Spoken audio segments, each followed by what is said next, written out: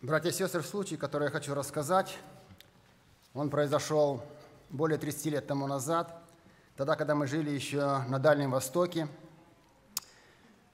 Каждую осень, когда уже созревали ягоды, обычно все, все люди, кто имеет транспорт, все могли а, двигаться куда-то, уезжать в лес, в горы а, для того, чтобы собирать бруснику. Я помню, такой случай был, когда мы поехали, собрались, а также уже после работы вечером, еще было светло, собирать ягоду.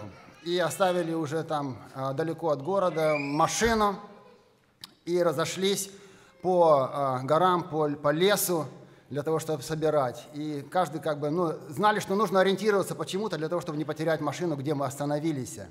Я помню, уже прошло время, и солнце уже зашло, но еще было светло, и а, папы нету.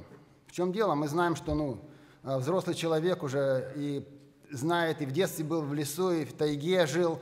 Но нету его. Мы кричали и все, и понимали, что потерялся. Значит, ушел, потерял направление куда-то ушел.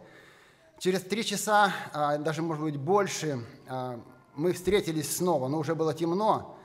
И он рассказал, говорит, говорит, я ориентировался как бы, ну, по каким-то приметам. Да, ну, знаете, когда с полянки на полянку, ягоды там, ягоды набрался, уже тяжело и много, и не хочется бросать это, но понял, что потерялся, заблудился в лесу. То есть в горах все одинаково, солнца нету никакого ориентира. И благо, что услышал мотоцикл, где-то ехал, и вышел на какую-то дорогу, по которой раньше возили лес, вырубали, лес возили. И этот мотоциклист его привез за несколько километров а, на основную дорогу, где мы и встретились. То есть очень легко, а, оказывается, в лесу потеряться, когда не знаешь и не можешь ориентироваться по местности. Мое желание сегодня остановить наше внимание на одном интересном месте Священного Писания и поговорить коротко, просто пригласить потом к молитве на место Священного Писания, которое записано во второй книге Царств, 18 главе. Это было событие, а, когда Авесолом воцарился, объявил себя царем, и когда донесли до, до Давида это, то есть произошла война. Произошли люди, которые были на стороне Авесолома, и с Давидом произошла война, и была битва, и написано, я буду коротко, что люди побежали, Израиль побежал, и их преследовали, и погибает Авесолом, сын Давида. И там есть такое место, 18 стих во второй книги Царства, 17 глава, вернее, 8 стих, написаны такие слова.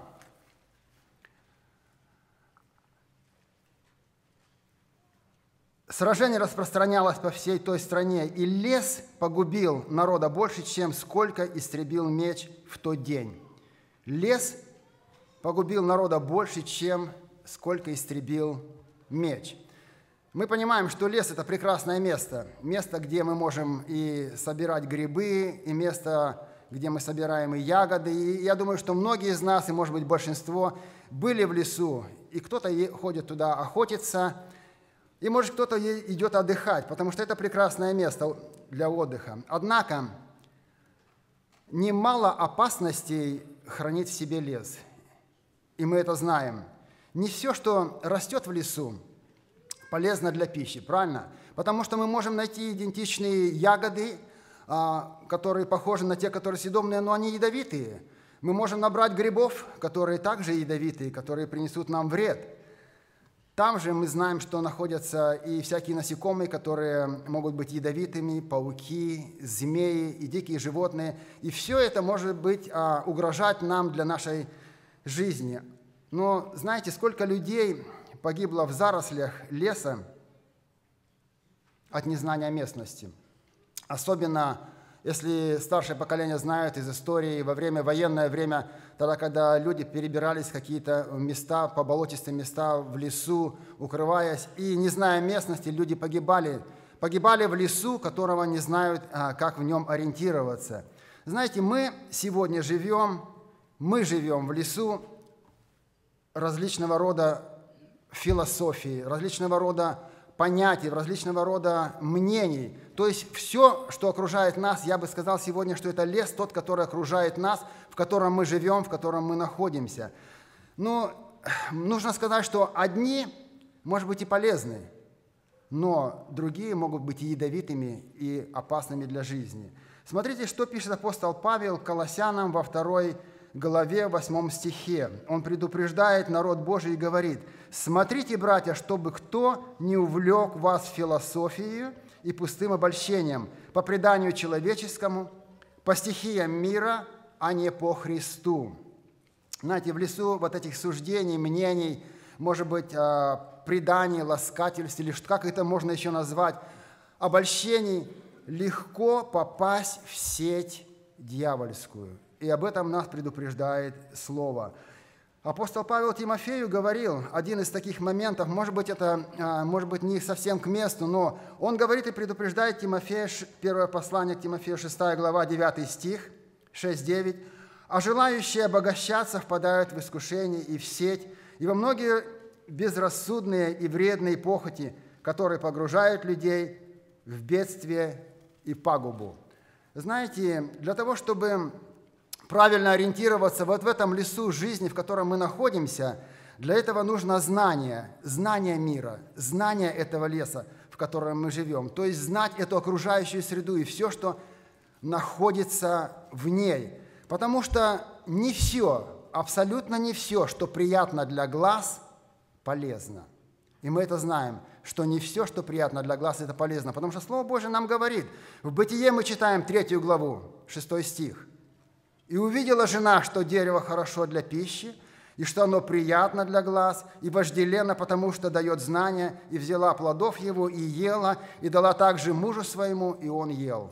И следующий стих говорит, «Открылись глаза их, и увидели они, что они наги». И апостол Иоанн в первом послании, 6 глава, 2 глава, 16 стих говорит, «Ибо все, что в мире, есть похоть плоти, похоть очей, гордость житейская, не есть от Отца, но от мира всего».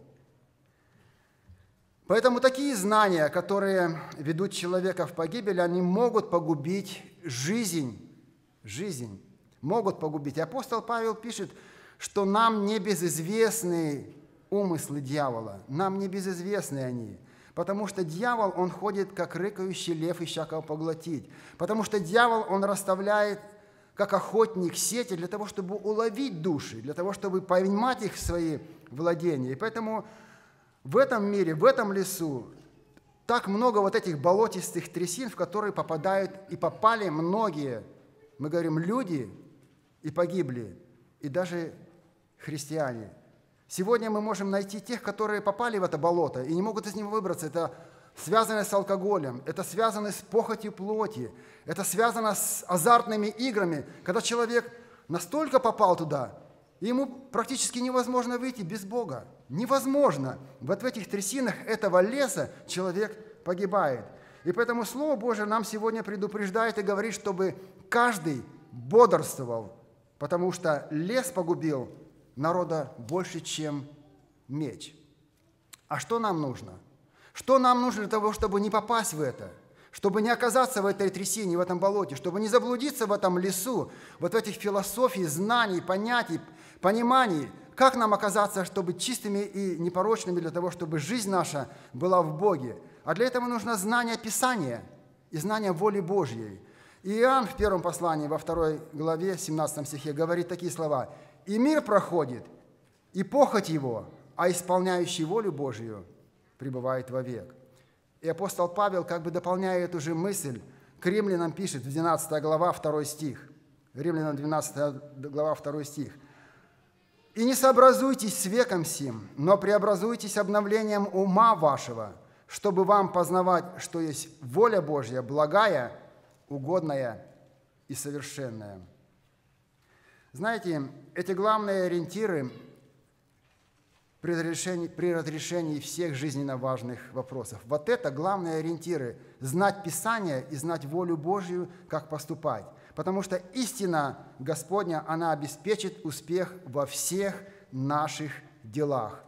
Истина Господня, она даст нам успех во всех наших делах.